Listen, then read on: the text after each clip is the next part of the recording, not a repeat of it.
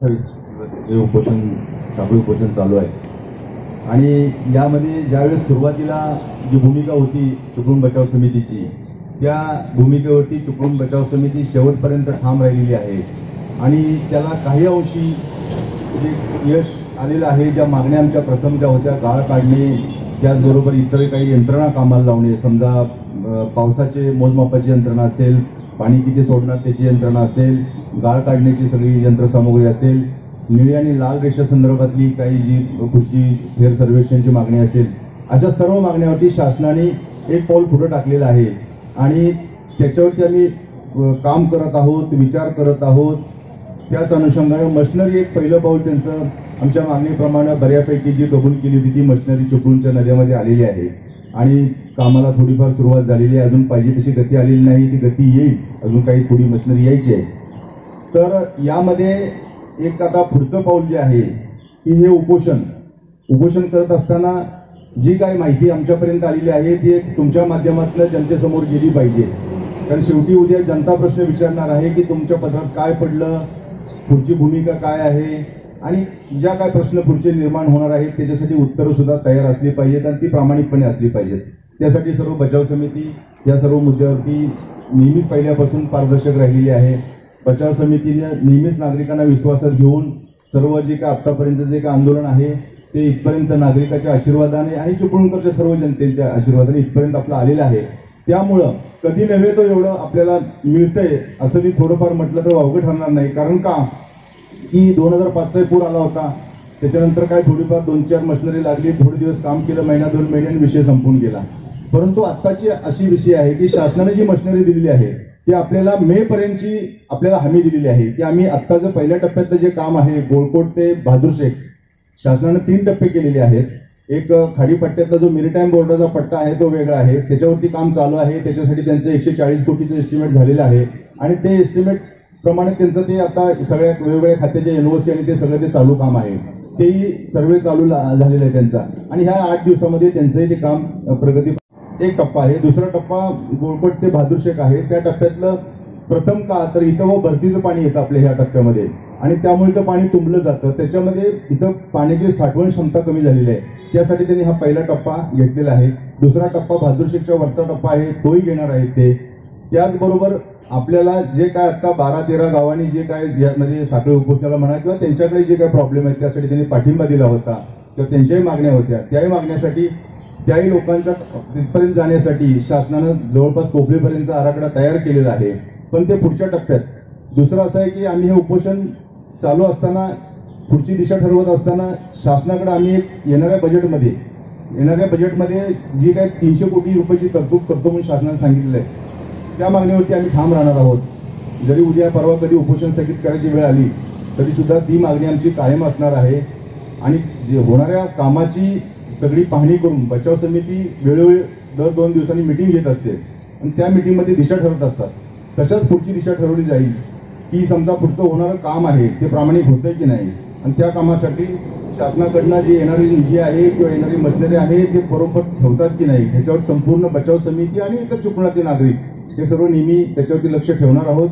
आता पुढची दिशा जी आहे ती पुढची दिशा शा जे शासनाने जे पत्र दिले परवा त्या पत्रामध्ये बऱ्यापैकी म्हणजे त्यातली दुसरी एक मागणी आमची होती ती लाल रेषेची. तर त्या रेषेसंदर्भात फेर सर्वेक्षण करू असं त्या पत्रामध्ये त्यांनी म्हटलेलं आहे गाळ काढल्यानंतर. म्हणजे ते हे प्रॅक्टिकली बरोबर आहे. कारण त्याचं आत्ता सर्वेक्षण करता येणार नाही कारण ते लेवल धरले तरी त्या भले चुकीच्या जरी असल्या तरी आता कुठेतरी त्यांचंही थोडं ऐकावं लागणार आहे. कारण का? की गाळ काढल्यानंतर आम्ही फेर सर्वेक्षण करू असा त्यांनी प्रामुख्याने शब्द दिलेला आहे. दुसरं त्यांनी धरणातून पाणी सोडतो. त्याबाबतचं सुद्धा त्यांनी विश्वासात घेऊ तुम्हाला पुढच्या वर्षीच्या जुलैमध्ये अशी एक कमिटी असेल किंवा यंत्रणा असेल मग पुण्यातून पाणी घ्यायचं की नाही किंवा ते बंद करायचं याबाबतचं ते आपल्याला आश्वासन त्यांनी दिलेलं आहे त्यांनी. तर अशा बऱ्याचशा गोष्टी ज्या आतापर्यंत कधी शासन ऐकत नव्हतं किंवा शासन कधी एक प्रकारे ते असं काही गांभीर्याने घेत नव्हतं. तर आपलं ह्या सर्वांच्या रेट्यामुळं जनरेट्यामुळं बचाव समितीनं हे एक निमित्त आहे पण सर्व जन जनरेटा महत्त्वाचा आहे. आणि असं वेळोवेळी सर्व अधिकाऱ्यांनी नमूद केलेलं आहे की हे केवळ तुमच्या चुकूनच्या सर्व ह्या जनरेट्यामुळं हे तुमचं सगळं हे मशिनरी वगैरे सगळे आलेले आहे अन्यथा एवढी अशी मशिनरी येऊ शकत नाही. तर हे फार मोठे यश नाही आहे. बचाव समितीच्या माध्यमातून अजून पुढचे काम जे आहे जे आता शासनाचे वेगवेगळे जे नदी संवर्धन असेल मग केंद्राच्या अखत्यारीत काही विषय असतील अन्य काय असेल त्यासाठी बचाव समिती नियमित पाठपुरावा करणार आहे. यावरती बचाव समिती समाधान नाही परंतु ही सुरुवात आहे.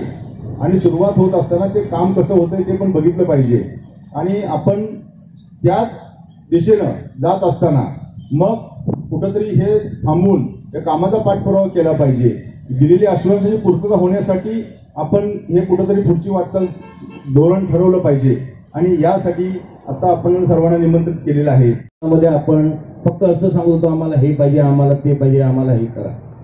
पण या आंदोलनाचं वैशिष्ट्य असं आहे की तुम्हाला जे काय हवं शासनाला ते आम्ही देत आहोत. तुम्हाला कुठल्याही तांत्रिक बाबी हव्या असतील लेवल्स हव्या असतील वरपासूनचा अभ्यास हवा असेल तर ही बचाव समिती परिपूर्ण आपण शासनाला पुरवत आहोत.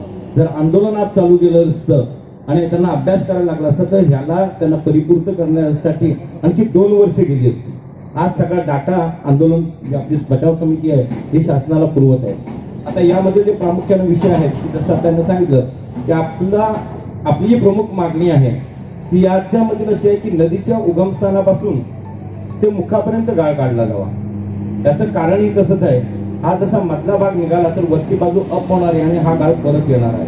तर याचंही प्रायोजन शासन करत आहे असं गोगरे साहेबांनी पूर्णपणे सांगितलेलं आहे. त्याच्याबरोबर ज्यावेळी नदी आपण उपसत आहोत तर या नदीमध्ये येणारं पाणलोट क्षेत्रातील पाणी आणि त्याच्यामध्ये येणारं परत आपलं धरणाचं पाणी हे पाणी वाहून नेण्याची क्षमता वाढवणं गरजेचं आहे. त्याच्यामध्ये काही आपल्या चिपळूणकरांना थोडंसं सहकार्य करावं लागणार आहे की नदीची रुंदीही काही ठिकाणी वाढवावी लागणार आहे किंवा काही ठिकाणी अतिक्रमण झाली तर स्वतःहून ती नागरिकांनी पुढे येऊन आम्ही चिपळूणसाठी देतो आम्ही जे केले ते तुम्हाला शिकवतो आणि आपल्याला ती वहन क्षमता वाढवावी लागणार आहे. दुसऱ्या प्रश्नाचा साहेबांनी असा विचारला की गाळ काढण्याचा.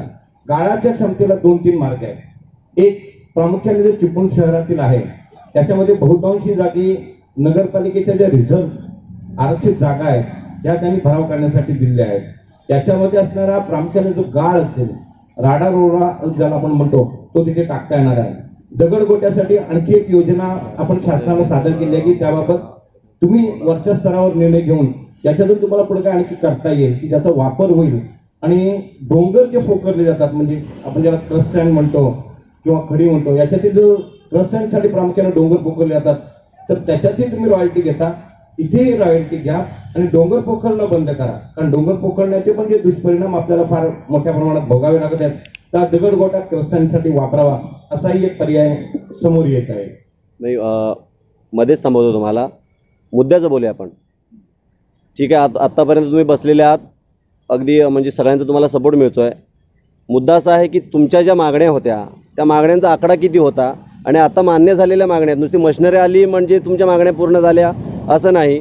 तर मागण्या किती होत्या आणि आत्ता तुमच्या मागण्या एकंदर किती पूर्ण झालेल्या आहेत? आणि जे पुढची तुमची रणनीती आहे खरी रणनीती त्याचं काय असणार सांगणार तुम्ही? आपण ज्या एकूण मागण्या अकरा मागण्या शासनासमोर ठेवलेल्या होत्या. आणि बहुतांशी त्या काळाशी निगडीत आणि पाण्याशी निगडीत होत्या. त्यापैकी जवळजवळ नऊ मागण्या पूर्ण झालेल्या आहेत. पूर्ण झाल्यात म्हणजे त्याचे प्रस्ताव आणि या गोष्टी कारण गाळ काढणं हे इमिजिएट वर्क आहे. ते प्रत्यक्षरित्या चालू करता येऊ शकतं. बाकीच्या ज्या गोष्टी आहेत की शासन स्तरावर त्यांना मंजुरी घेणं आर्थिक तरतूद करणं या हिशोबानं ती कामं चालू झालेली आहेत.